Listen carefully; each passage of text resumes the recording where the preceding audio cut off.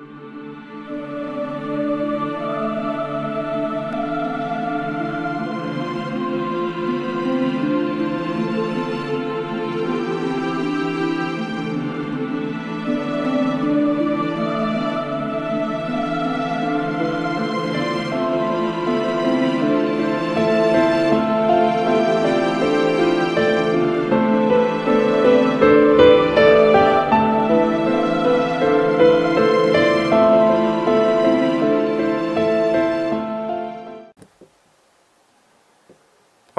Soy Cocuranzo del blog HackerCodicen.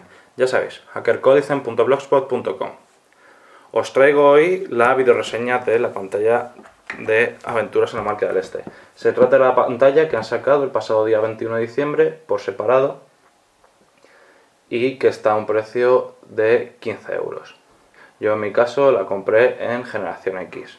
Vemos un poco lo que incluye y tenemos por un lado la pantalla y por el otro un grimorio de hechizos. Vamos a ver primero la pantalla. ¿Vale? Está en formato horizontal, cosa que ya han cogido los de cubierta prácticamente como suyo, igual que encontramos ya, por ejemplo, en otro producto de la misma editorial, como es la pantalla de Omerta.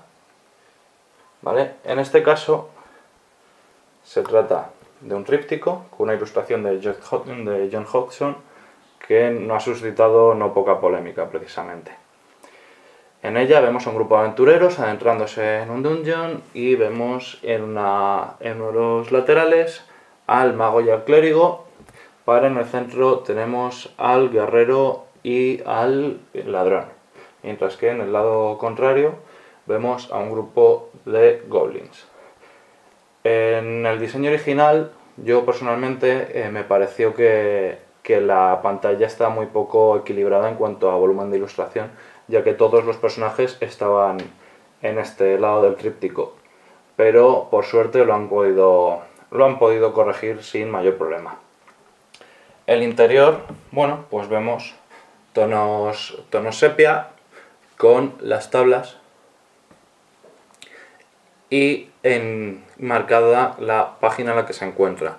Aquí, como están divididos entre el manual de la, de la caja verde y el manual de la caja roja, vemos una, un borrón, un manchón, por así decirlo, detrás del, del número de página, rojo o verde. Lo cual, si es rojo, nos indica que es del manual de reglas y el verde, que es el manual de reglas avanzadas de la caja verde.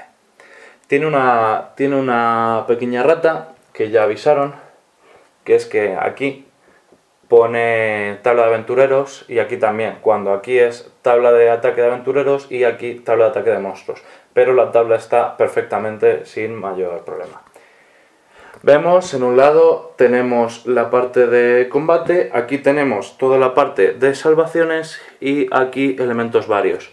Lo que sí me ha llamado la atención de que han puesto una tabla de equipo, pero no han puesto una tabla de daño de armas, que me parece que hubiera sido más útil que la propia tabla de, equipo. Pero bueno.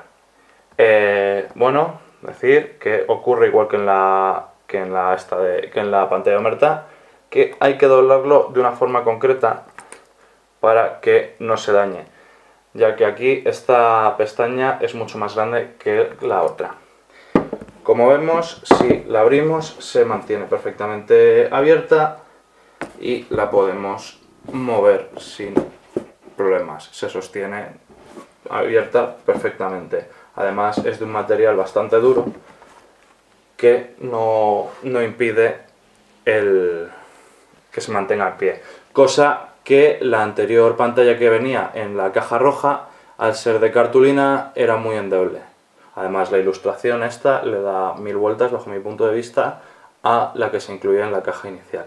Vamos a ver un poco el tamaño, voy a compararlo con el propio manual de Aventuras la Marca del Este, como veis tiene el mismo tamaño que un folio. Lo único que en nuestro caso iría así. Y bueno, lo que incluye ya es un grimorio de hechizos en grapa, blando, todo en blanco y negro, aprovecha la propia ilustración de la de la pantalla y bueno, interior en, blanco y negro con pocos dibujos y todos los hechizos que encontramos hasta ahora en el juego, desde la caja roja hasta la caja verde. Incluye también los hechizos de las nuevas clases de personaje que salieron. Vamos a compararlo. Y como veis, pues eso, un pequeño cuadernillo grapado sin más.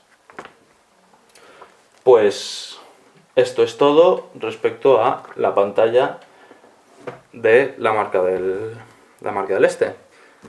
Si queréis saber cualquier cosa, ya sabéis, a escribidme a hackercodicem.com o un comentario en el blog a hackercodicem.blogspot.com. Salud y rol. Esta es que no hacía falta añadir.